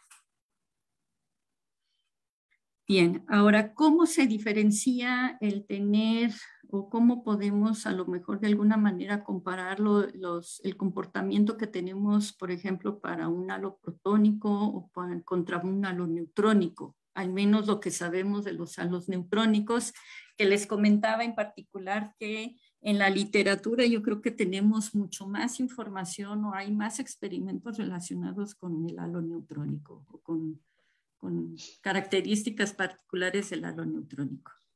César. disculpa, Paulina, cinco minutos, por favor. Perfecto, sí, ya acabo. Gracias, César. Gracias. Bien, aquí simplemente les quiero mostrar, eh, utilizando estas unidades reducidas, eh, las cuales en la literatura pueden encontrar cuál es el concepto de esto, pero prácticamente la idea aquí es poder comparar eh, diferentes sistemas y hacer caso omiso a, eh, factores de carga o factores de, dimensiones del, del, átomo como tal, ¿no? A través de esto podemos entonces hacer comparaciones de diferentes sistemas y aquí lo que me gustaría remarcar es que podemos observar eh, en esta región por acá cómo las secciones eficaces de fusión tanto para sistemas que tienen comportamiento de boro, eh, comportamiento de halo protónico, como aquel que tiene, ah, disculpen, me, perdí un poquito. Aquí estamos hablando de secciones eh, de reacción total. para el caso particular del boro 8 en níquel 58 y para el caso particular del helio 6 en bismuto 209, podemos observar que la tendencia es exactamente la misma. Caso diferente, diferente obviamente para las secciones eficaces de fusión, donde podemos observar que aquellas con, que tienen, en el caso del boro 8, que sabemos que tiene un halo protónico, es, comporta, el comportamiento es completamente diferente al caso del helio 6, que sabemos que tiene halo neutrónico. Sin embargo, en esta gráfica sí es interesante observar que a pesar de las diferencias en la estructura del, átomo, es decir, uno con composición protónica y otro con composición de halo neutrónico, podemos observar que las secciones de reacción total tienen un comportamiento muy, muy, muy similar. Bien, ya para finalizar, ¿qué sigue? ¿Qué estamos haciendo? Pues ahora estamos haciendo el análisis o estudios de sección de em, eh, mediciones de dispersión elástica del litio 7 que es un núcleo espejo del berilio 7 que a la vez resulta que es el carozo del boro 8, ¿no? Entonces, esto lo estamos haciendo aquí en el, estos experimentos lo estamos haciendo aquí en México, en particular en el departamento de ahí del, del ININ, en donde tenemos un acelerador tandem Van de Graaff, eh, y al cual, pues, en algún futuro esperemos cercano, los invito a que puedan conocerlo. Por el momento, el acceso está completamente restringido, pero estamos localizados sobre la carretera México-Toluca, más o menos a la altura de la Marquesa, por el puente de Salazar. Por ahí nos encuentra. Y bueno, mañana invitarles a la plática en particular del doctor Enrique Martínez, quien nos va a platicar más de lo que es las reacciones este, de, de fusión del sistema particular de litio 7 en Vanadio 51. También invitarlos a que mañana están las sesiones, las pláticas de, del área de la física nuclear y por lo tanto pues son súper invitados. Muchísimas gracias César, gracias a todos y pues les dejo la información de los colaboradores que hacemos el grupo ahí de iones pesados por, por si tuvieran cualquier duda o comentario al respecto. Muchísimas gracias. Muchísimas gracias, eh, Paulina. Ah, un placer. Muchas gracias por la, por la plática tan, tan interesante y tan pedagógica. Bueno, pues entonces eh, estamos abiertos ahora a, turno de, preguntas y hay, alguna pregunta que está puesta en el, chat porque creo que tenemos cinco minutos, ¿no? Eh, corregirme si estoy equivocado respecto a eso. Eh, entonces yo creo que un par de preguntas se, puede, se pueden hacer. Entonces, tenemos una pregunta que dice que ¿qué tan alejado está el neutrón con respecto a los electrones de las primeras órbitas? O sea, por supuesto está hablando del neutrón que hace, que hace el halo. ¿Cómo, cómo de lejos está? ¿Cómo de lejos están? Ah, híjole, eh, bueno, creo que no estoy en posibilidades de dar una cifra exacta porque, pero vaya, eh, si consideramos que el, tamaño del, del, del, núcleo, aunque inclusive tuviera la presencia de, de un halo, está alrededor de los de los Armstrong, perdón, de los Fermis, que es 10 a la menos 15 metros, y que por otra parte la dimensión del, del, del, ato como tal, estamos hablando de dimensiones de 10 a la menos 10 Armstrong, 10 a la menos 10 metros, perdón, yo creo que estamos hablando de dimensiones bastante, bastante alejadas. De por sí, eh, creo que lo pudimos ver gráficamente, eh, podemos considerar que el, el, núcleo es, es, una canica y el, la, la dimensión del, del, del, átomo como tal lo podemos ver que es, por ejemplo, el estadio azteca, ¿no? Entonces, así de alejado yo creo que está, o podemos decir que está el, neutrón de valencia en este caso con respecto a las primeras órbitas de, los electrones. Eh, lo siento no poder dar una cifra en específica, pero eh, es más o menos lo que yo podría concluir al respecto, ¿no? O responder al respecto. Muy bien, muchas gracias. Otra pregunta. ¿Puede existir un halo neutrónico protónico? Eh, por el momento no se ha detectado algo así, pero yo creo que sería poco probable. ¿eh? Eh, no podría explicar ahorita la razón por la cual sería poco probable, pero sí no hay evidencia de que exista un, halo, vaya, la presencia de, un, de dos nucleones diferentes, es decir, tanto de un neutrón como de un protón, eh, que conformen el, el, halo como tal. Bastante interesante la pregunta, por cierto. Habrá que discutirla más adelante. Supongo que habrá, habrá cálculos, yo tampoco sé la respuesta, eh, supongo que habrá cálculos teóricos al, respecto para, para, poder, para, poder, guiarnos, ¿no? Pero Puede ser, ya digo, yo tampoco, ni idea. Desconozco. Yo también, yo también. Desconozco y nunca, para ser sincera, me había hecho esta pregunta, ¿eh? Así que todavía mucho más interesante. Bueno, eso es lo, eso es lo bonito de tener, tener estudiantes que nos llevan a, preguntas Exacto, que no, nos habían hecho.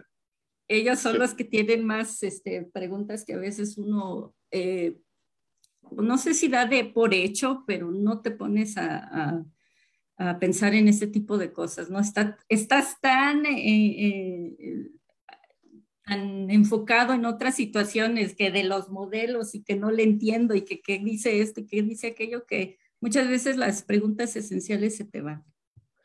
Bueno, pues muchas gracias, Paulina. Yo creo que son las 7.58 horas de la, de la Ciudad de México, son, entonces son las 5.58, eh, creo, en horario de Tijuana. Ya se cierra la, sesión por hoy. No sé si los representantes de la Sociedad Mexicana de Física quieren, quieren decir algo para, para cerrar, pero si no, por mí ya hemos terminado esta, esta sesión. Muchísimas gracias a todos. Muchísimas gracias. No, bueno, pues entonces nos vemos mañana en las sesiones eh, simultáneas y que todo el mundo lo siga disfrutando de, del Congreso Nacional de Física. Hasta luego.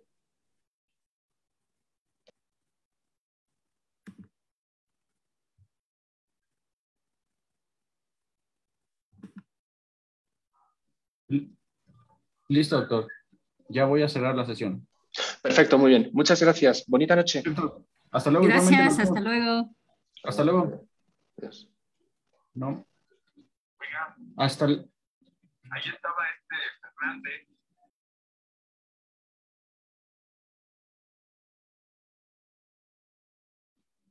Hasta luego, buenas noches a todos y mañana nos vemos en las siguientes sesiones. ¿Va?